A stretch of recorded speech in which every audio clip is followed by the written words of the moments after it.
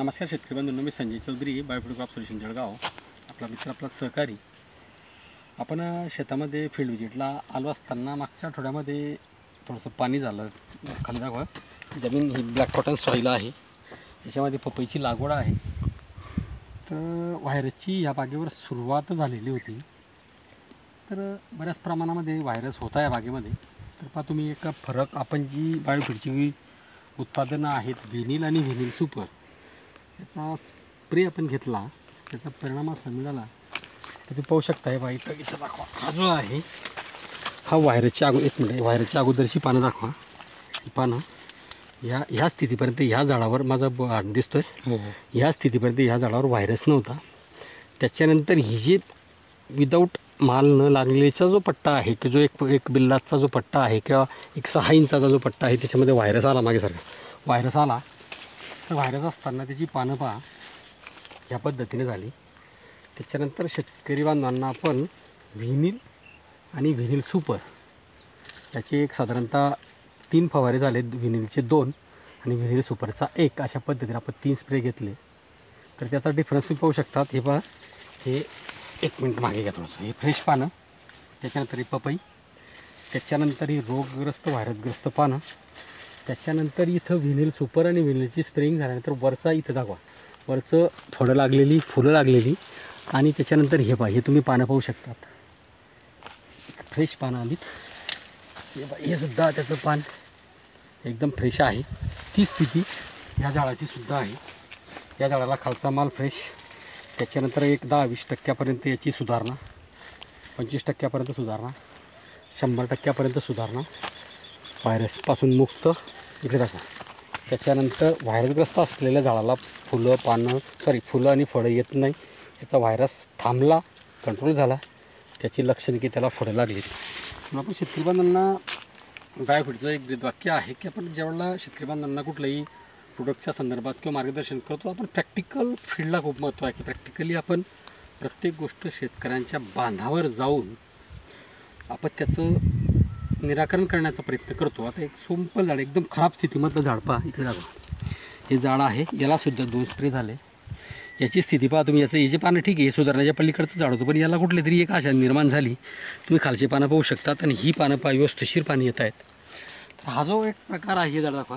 म्हणजे हा जो प्रकार आहे हा विनील आणि विनील सुपर. हे हे झाड. हे आणि विनील सुपर. या पद्धतीचं ह्या कम्प्लिटली व्हायरस नसलेलं झाड आहे. तर अशा पद्धतीनं बायोफिडचं तंत्रज्ञान जे आहे पपईच्या संदर्भातलं तर आपण कुठलंही काम करताना प्रॅक्टिकली खूप महत्त्वाचं आहे की शेतकऱ्याच्या बांधावर जाऊन जे आपण मार्गदर्शन करतो त्याच्यामुळे त्याचा बेनिफिट किंवा त्याचा फायदा शेतकरी बांधवांना चांगल्या प्रकारे मिळतो. त्याच्यानंतर तुम्ही हे सुद्धा झाड शकतात. हे पायाला जो हत्ती रोग बंची टॉप लिपकर किंवा वेळेवाकडे द दांड्या होणं ह्या त्याच बागेतलं झाड आहे. हे तुम्ही प्रत्यक्ष पहा की याची दांडी कशी आहे. दिसतोय का बोट माझा? कर्व दिसतोय. दिसतोय. हा कर्व दिसतोय. त्याच्यानंतर व्हिनिल सुपर आणि व्हिनिल मारल्यानंतर त्याची स्थिती पहा. या पानाची स्थिती आणि आता ह्याची मागच्या सहा दिवसामध्ये पान आलेलं हे पहा याची कंडिशन पहा.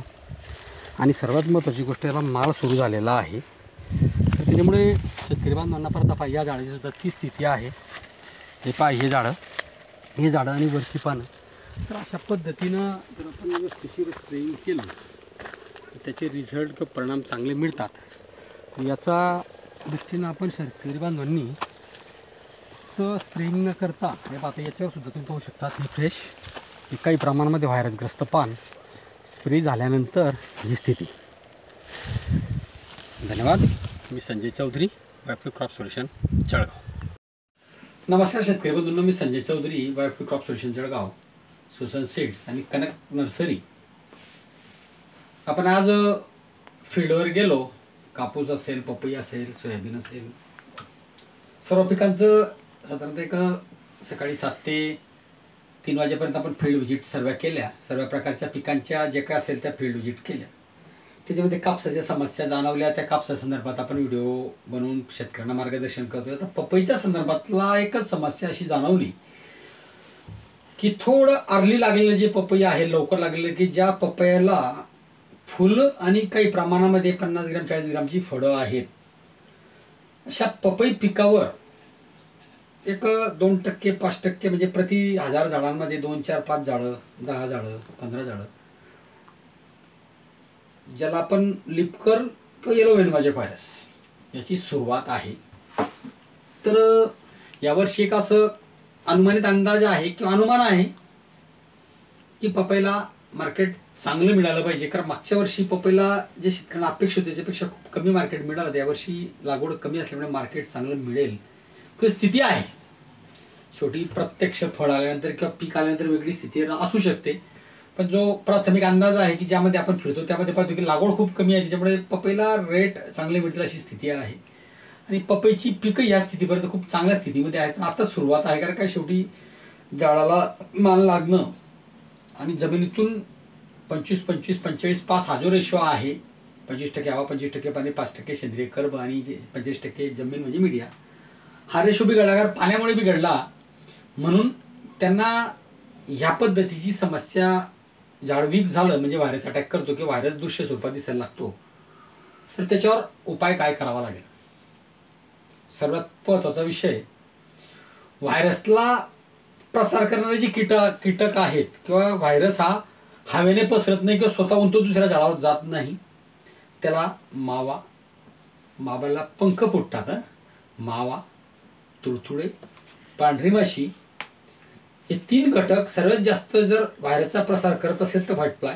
आणि ह्यावर्षी कापूस पिकावर आपण निरीक्षण केलं तर मोठ्या प्रमाणावर व्हाईट फ्लाय ह्या स्टेजला आहे. म्हणजे तुमचं जी ऑगस्ट एंडिंग का सप्टेंबरच्या पहिल्या आठवड्यात general virus sorry white fly पिकावर येण्याचा जो कालावधी आहे किंवा पोषक पिरियड आहे तो हा होता. पण यावर्षी या स्थितीमध्ये पहिल्या फवारणीला व्हायर व्हाईट फ्लाय दिसली मला आज शेतामध्ये. बऱ्याच बऱ्याच मोठ्या प्रमाणावर दिसली. म्हणजे पहिल्या कापसाच्या पहिल्या फवारणीच्या स्थितीपर्यंत व्हायर आपला सॉरी व्हाईट फ्लाय आहे.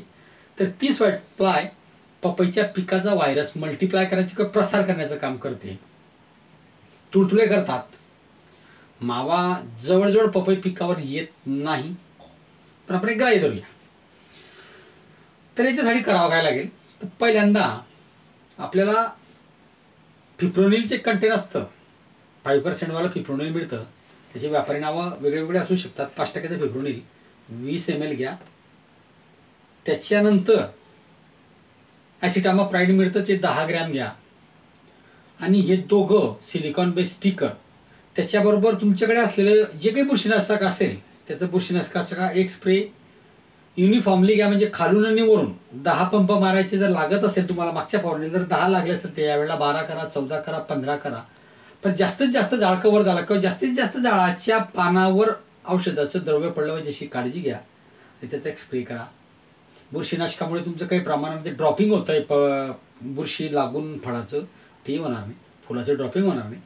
आणि दुसरी गोष्ट तुमचं पांढरी माशी मा- आणि मावाचं योग्य प्रकारे नियंत्रण म्हणजे व्हायरचा प्रसार होणार नाही. त्याच्यानंतर व्हायरसच्या नियंत्रणासाठी विनिल आणि बिझायमो किंवा ग्रो प्लस विनिल चाळीस एम एल ग्रो प्लस तीस एम एल ग्रो प्लस नसेल तर बिझायमो चाळीस एम एल त्याच्याबरोबर सिलिकॉन बेस स्टिकर याचा एक फवारा युनिफॉर्मली घ्या. व्हायरस असलेली झाडं तुम्हाला दृश्य स्वरूपात आपण दाखवू की व्हिनिल आणि व्हिनिल सुपर मारल्यानंतर व्हायरस असलेली झाडं पहिल्यांदा नील व्हायरस नसलेलं झाड परत व्हायरस आला आणि परत व्हायरस गेला. याच्यामधला डिफरन्स एकाच जागेवर आपण दाखवणार आहोत की व्हायरस आला म्हणजे नसलेले झाडं तेव्हा फळं लागले. व्हायरस आल्यानंतर फळं नील झाले. त्याची म्हणजे लागले नाही किंवा ड्रॉपिंग झाली. आणि त्याच्यानंतर व्हायरस व्हिनिल आणि व्हिनिल सुपरची स्प्रे केल्यानंतर व्हायरस कंट्रोल झाला. व्हायरस थांबवता येतो संपत नाही. पिकाला पपई पिकाला उत्पादन क्षमतेपर्यंत पोहोचवता येतं. म्हणजे आपल्याला लागलेलं उत्पादन क्षमता जी असते सर्वसाधारणपणे जी उत्पादन क्षमतेपर्यंत झाडाला पोहोचवतं स्थिती आपण जर योग्य प्रकारे नियंत्रण योग्य वेळेला योग्य प्रकारे नियंत्रण केलं तर व्हायरस थांबवता येतो आणि पिकाला उत्पादनापर्यंत पोहोचवता येतो. याचा आपण एक व्हिडिओ लाईव्ह सुद्धा आपण तुम्हाला टाकू याच्याबरोबर. तर अशा पद्धतीने जर पपई पिकाची काळजी घेतली तर संभाव्य नुकसान होणार नाही. आणि पुढच्या भागामध्ये स्टेम रॉड ज्याला म्हणतो की बुंदा सड आता काडीच्या जमीनमध्ये मागच्या आठवड्यामध्ये पाणी होतं दोन दिवस आता थोडं विश्रांती आहे. आणि परत एक सत्तावीस अठ्ठावीस नंतर परत डग साहेब असतील हवामानशास्त्रज्ञ असतील मा- भारतीय हवामानशास्त्र असेल यांचं प्रत्येकाचं जे काही तज्ज्ञ आहेत त्याचं म्हणण्याप्रमाणे सत्तावीस अठ्ठावीस एकोणतीस तीस एकतीस पर्यंत त्याच्यापर्यंत एक दोन तारखेपर्यंत पाणी आहे. तर आता स्टेम रॉड किंवा बुंदासडचं प्रमाण होईल. ते आपण एक पुढच्या भागामध्ये त्याच्या विस्तृत प्रमाणात आपण बुंदासडवर काय इमर्जन्सी किंवा तात अतितातडीची उपाययोजना काय करता येईल ते आपण पाहू. धन्यवाद. मी Sanjay Chaudhari biofood crop solution Jalgaon.